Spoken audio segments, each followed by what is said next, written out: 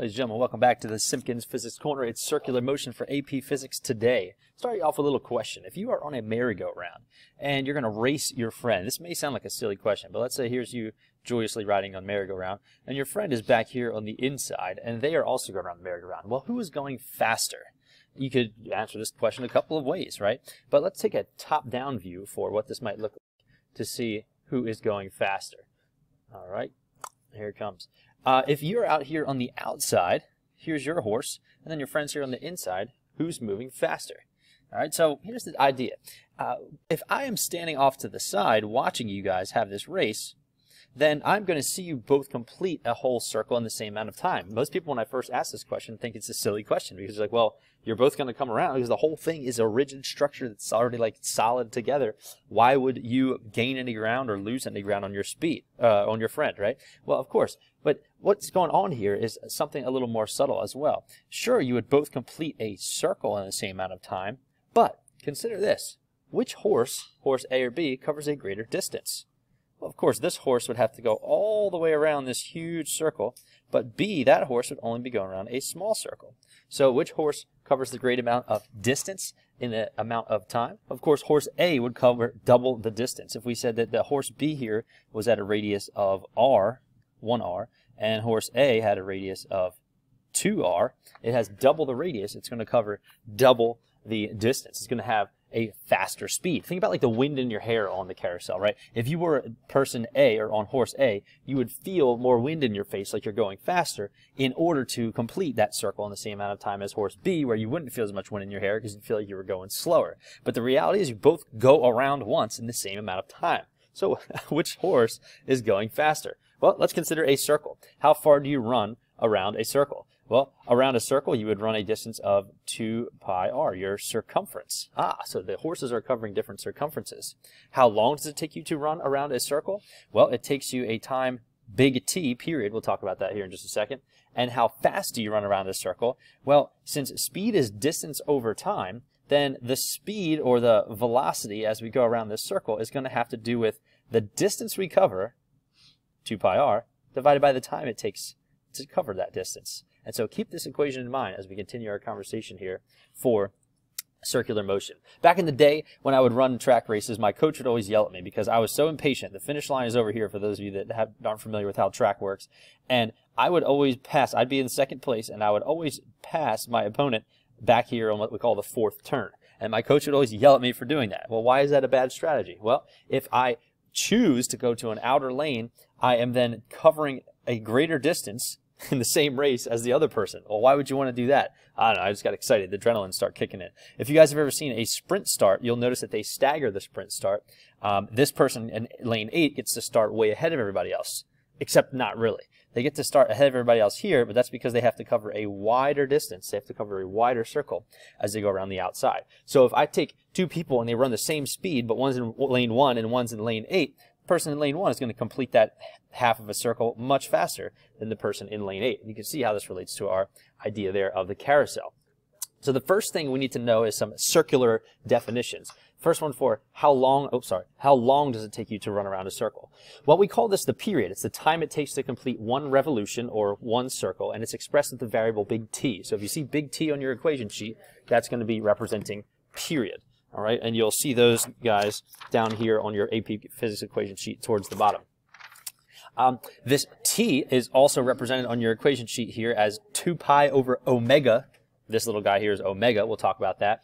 And uh, or 1 over the frequency. So let's talk about frequency. Frequency is how frequently, it's how many revolutions an object makes in a unit of time. So go back to the carousel, I might say I complete three laps of the carousel per minute, right? That would be frequency. Um, now, we usually say it as revolutions per second, you, um, and that's how many circles you do you know, in a certain amount of time. And it turns out that if you see this unit hertz, it turns out that a hertz is a revolution per second. How do you remember this? Well, if you spin something around really fast and it hits you in the face, it hurts. All right, so revolution per second is also hertz, and here's the uh, how you it would show up on your equation sheet. Frequency is one over t. Let's look at our next question. How fast do you run around a circle? Well, this is where we need to differentiate between the wind in our hair on the carousel and how long it takes us to go around once on the carousel. So that wind in our hair, that's how fast we're actually moving. Like if I measured how many meters we did around the circle, it's called tangential speed.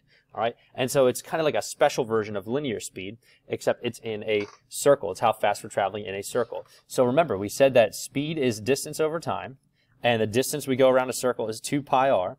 The, the term for the time it takes to go around once a circle is called period, the big T. And so if I substitute these guys in, see how if I put 2 pi r on the top and big T on the bottom, this is the equation that I get. Now, this word, tangential, say it with me, tangential. Tangential speed comes from the root word tangent, and tangent is a straight line along the edge of a circle. So you think of like a softball pitcher, right? They come around the circle, and when they release the ball, it flies tangent. So what we say here, when we say that the tangential speed is always tangent to a circle, that means if I'm moving around a circle, if my if I'm spinning around like this in this direction, my speed here, my VT would look like that at that edge.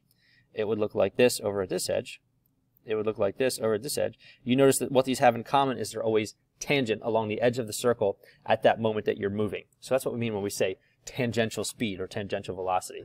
So if you move in a circle, that is not a natural thing to do. Right? It is not natural. If I just like throw something, it's not going to start moving in a circle all by itself. Moving in a circle requires a constant force. Because as we covered in our last two units, in order for a an object or a mass to accelerate, you have to have an unbalanced force. And so there's going to be a, an unbalanced force needed in order to move in a circle. All right, so let's take a look at a couple of examples. What if I take a tennis ball and I swing it around my head? All right, we're going to ask this question as we go through this unit. What is the centripetal force? It's kind of like that blue superhero chick from X-Men um, where uh, she can morph into anything. Right? She, it's uh, Mystique is the name of the character, and Mystique can morph into any other person. So this centripetal force is always going to be there, causing the circle, but it can morph. It can take different shapes. It can look like different forces as we consider different scenarios. So let's look at um, this one here. If we have a ball on a string, what kind of force is there going to be pulling that ball back towards the center? Or what if we have a car driving around a turn? What kind of force would be causing it to do its circular motion. Of course, if there's not enough of it, it would fly off the road. So this one here, we've seen this fundamental force, one of our four, it's, it's tension. If you have a ball on a string, that would be a force of tension can be the centripetal force. What about going around the turn here? Well, going around the turn, what is the centripetal force? The force of friction in this case is the centripetal force. It takes on the form of friction. What about this one? You guys might have seen these these at the uh, the Percy Fair, the gravitron, right? The gravitron spins around really fast, and some people get so wild that they actually can climb up here and stand on the wall. Well, what would be the force that is acting there? That would actually be the normal force of the wall pressing perpendicularly on us to push us back towards the middle of the gravitron. So the tension force for a ball and a string, the um, friction force for a car going around a turn, the normal force for somebody in the gravitron. Already we've seen that the centripetal force can be three different kinds of forces. And of course, if there wasn't a centripetal force, you'd fly out the side and go tangent because it's tangential velocity, right? So you just fly right over the, right over the roof there. How about this one? For planets that are in orbit, what kind of force would be acting as a centripetal force? Well, this planet right here is not moving in a straight line. It's moving in a circular type path because of the force of gravity. So on a large scale, the force of gravity even can be our centripetal force. So the big idea for today so far is that as we go around the turns, we're going to have two kinds of speeds, rotational speed or frequency, and we're also going to have tangential speed. All right. So if we look at these four scenarios, the type of force that is the centripetal force, what is the centripetal force? Ft is the centripetal force for a ball on a string. Ff is the centripetal force for a car going around a turn. Fn is the centripetal force for a gravitron and Fg is the centripetal force for gravitation. So we see that different kinds of forces can act as the centripetal force. But ladies and gentlemen, if you're going in a circle, you're not going in a straight line. If you're not going in a straight line, your velocity is changing. And if your velocity is changing, you are accelerating. And so here's the deal. Whenever something is moving in a circle, it is always accelerating towards the center of that circle or that path that it's making. And in order to cause acceleration, you need sigma f equals ma. All right, so it's still always the answer, or it's still always the root of the answer, is sigma f equals ma. And, um, and as we look at these types of problems, uh, really, we're just going to be looking at uh, sigma fc equals mac. C standing for centripetal, centripetal coming from the Latin root of centrum petere, or center seeking. So that centripetal force is going to be the force that is always acting towards the center of the circle. All right, so here's the big idea for the day. If we always have a force towards the center, it is always unbalanced. And if it's unbalanced, then the object is always accelerating. All right. So this is where we get this idea of Fc equals AC, or the centripetal force that is needed. Uh, the force that is needed to make a circle happen is always going to be centripetal, or towards the center of the circle. So you'll see this show up in several different ways. Uh, this is one way you may see it show up, but uh, we'll get into a little bit about where this uh, circular force equation comes from as well. Now the reason I'm showing you these two side by side is because this equation, oh sorry, that equation is not on your equation sheet. But what is on your equation sheet is the definition of centripetal acceleration, which is right here. It's AC equals V squared over R.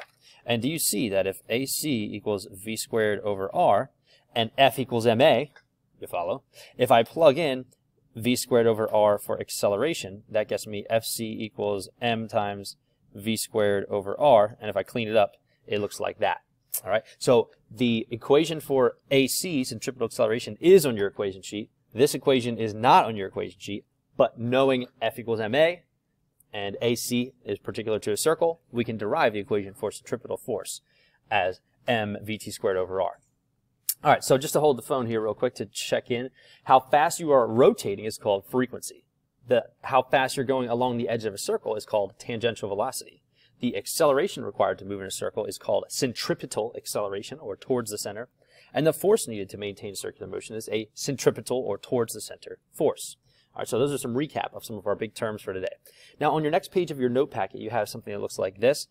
Um, eventually, we are going to go ahead and derive equations and solve these types of problems. But right, right now, it's just a preview. All right. So this one's like for a gravitron. You see, I drew some FBDs here. So for the gravitron, in order to continue spinning around along the edge of that gravitron, we need something pushing us back towards the middle all the time. What pushes us back towards the middle in the gravitron? The wall, which is a normal force. How about if you're going around on like a, imagine taking a platform and spinning it slowly, and something is sitting on top of it it'll sit on top of there so long as you don't spin it too fast, right? If you spin it too fast, it'll fly off tangent, right? But as something is going around in a circle, if there's enough friction acting towards the middle, it will stay in its circular path. Right here we have this one is another example of how gravity can be acting as a centripetal force. And then of course this ball, although not completing a full circle, is going to be undergoing some sort of circular motion. And since moving in a circle is not natural, we need an unbalanced force. The unbalanced force causing that circular motion is the force of tension, would be acting as the centripetal force there. Um, to wrap up our lesson, what I'd like you guys to do as a quick review is to take a look at the next page in our packet. It has these ladybug problems, and I don't want to reveal all the answers right now, so I'm just going to leave this one. But the slides that I am going off of right now are also posted to Canvas. So what I want you guys to do is try out the ladybug check-in questions, and then go to the slides and hit animate and go through and check your answers after that. Our big terms for today that we covered so far were tangential velocity, that's how fast you go along the edge of a circle, centripetal acceleration, that's your rate of acceleration towards the center, and centripetal force. So to wrap up for today, let's go all the way back to the beginning.